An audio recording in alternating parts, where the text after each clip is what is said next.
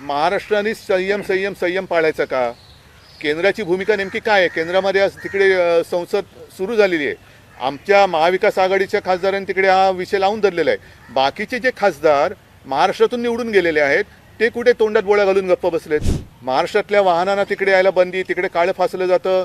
महाराष्ट्रातल्या मंत्र्यांना किंवा महाराष्ट्रातल्या नेत्यांना तिकडे यायला बंदी. मग आता तिथे तुम्ही काही विजा सिस्टीम सुरू करणार का? की पुन्हा तिकडे काही जसं टोल नाका असतो तसं काही एंट्री पॉईंट्स ठेवणार आहात का?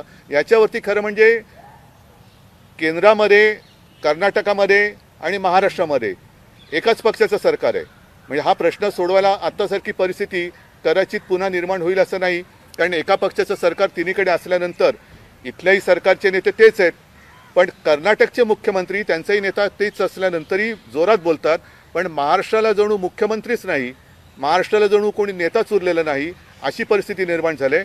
महाराष्ट्राच्या मुख्यमंत्र्यांचाही नेता दिल्लीत आपले माननीय मोदी आहेत कर्नाटकच्या मुख्यमंत्र्यांचे सुद्धा तेच आहेत. मग ते जर बोलतात तर हे का नाही बोलत?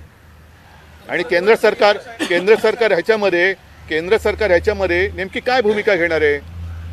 जर महाराष्ट्राचे मुख्यमंत्री केंद्राच्या दबावामुळे गप्प बसणार असतील तर याचा अर्थ समजायचा काय?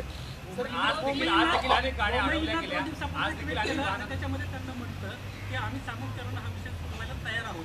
मात्र त्यानंतर आज आपण थोड्या वेळापूर्वीच बेळगाव परिसरामध्ये कानडी भागामध्ये मोठ्या प्रमाणामध्ये गाड्यांवर तोडफोडीची किंवा बरोबर आहे.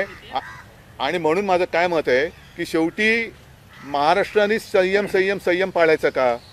केंद्राची भूमिका नेमकी काय आहे? केंद्रामध्ये आज तिकडे संसद सुरू झालेली आहे. आमच्या महाविकास आघाडीच्या खासदारांनी तिकडे हा विषय लावून धरलेला आहे. बाकीचे जे खासदार महाराष्ट्रातून निवडून गेलेले आहेत ते कुठे तोंडात बोळ्या घालून गप्प बसलेत?